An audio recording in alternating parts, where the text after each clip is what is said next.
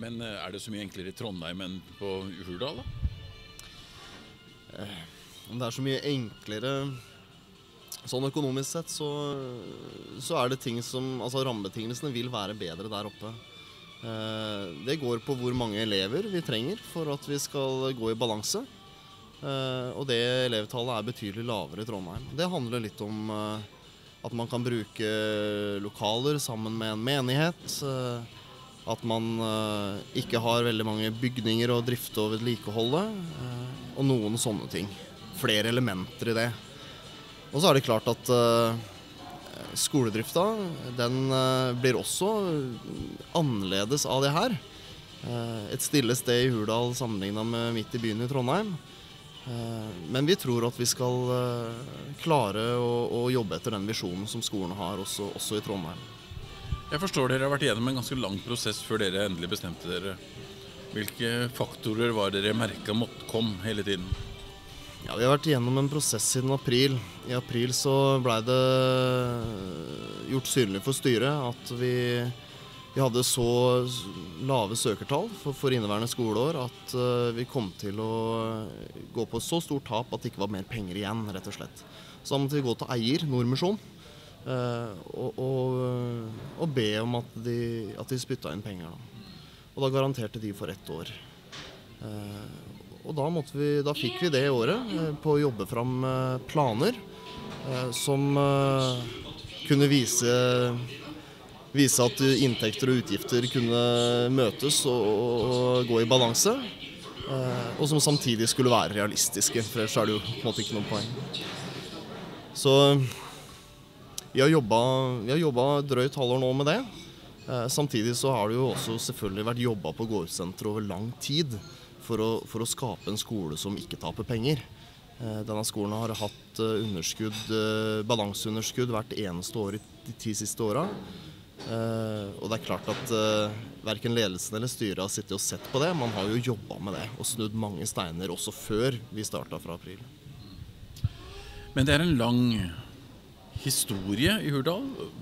Fortell litt om hva som har skjedd, og når starta det, og, og eh, hvordan utvikla det seg fra begynnelsen av. Skolen er 30 år eh, og har en stolt eh, og god historie.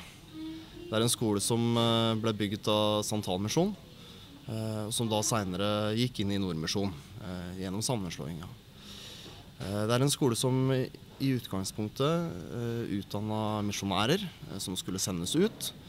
Eh, det er klart det var eh, dessverre, får en si, et helt annet antall som reiste ut eh, på 80-tallet enn det er nå i dag. Eh, og det har jo synket gradvis både i Santalmisjonen og inn i Nordmisjonen. Eh, og da blei det en sånn eh, gradvis omlegging av skolen eh, mot slutten av 90-tallet, hvor man eh, gikk over fra å bare utdanne, bare utdanne misjonærer og kun gjøre det, til også å ha en linje som da ble kalt STK, altså en linje retta mot eh, 19-20-21-åringer, eh, som var ettårig, og hvor, hvor de fikk reise ut på team. Altså mer type ja, bibelskole retta mot unge mennesker rett fra videregående. Og så har man utvikla det, det tilbudet med en linje som heter Fate in Action, eh, som eh, kanskje retter seg mot eh, de som er et par år eldre, men, men som også ligger i det, det segmentet. Gode, veldig gode linjer hvor veldig mange mennesker har blitt utfordra og, og utrusta til å være ja, både vekke interesse for internasjonal misjon, men også for å være misjonærer der de er i hverdagen. En stolt historie, men så kommer virkeligheten, og eh, det merker at det er mindre interesse. Hva kommer det av at det er mindre interesse? Har det noe med skolen å gjøre, eller har det noe med tids og tidsånden å gjøre? Det er et eh, vanskelig spørsmål. Eh, Jeg tror nok at det kan være en blanding. Nå har vi gjennom denne utredninga kommet fram til tall. Vi har, vi har sett på tall for bibelskoler i Norge de siste 20 åra, sammenligna elevtall.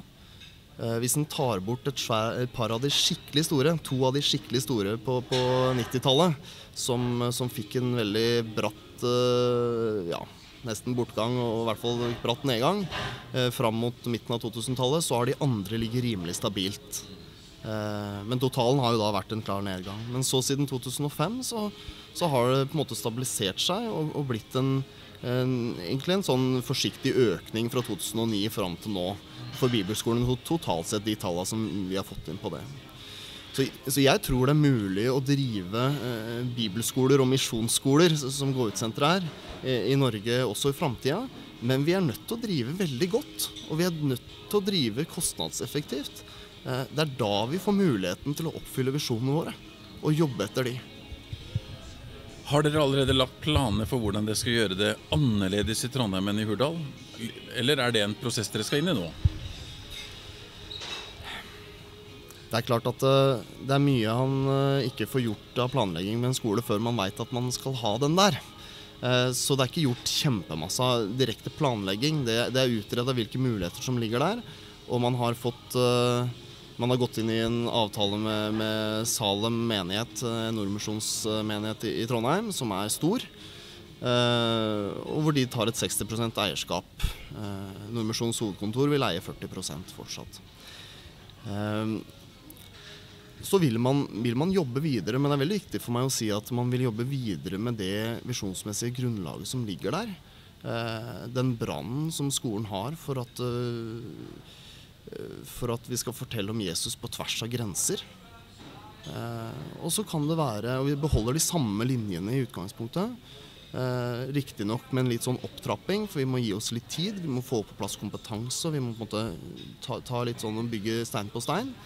Eh, men det blir i utgangspunktet de samme linjene. Og så må man jobbe og videreutvikle det på en normal måte, fordi at skoler må utvikle seg for å drive, drive godt.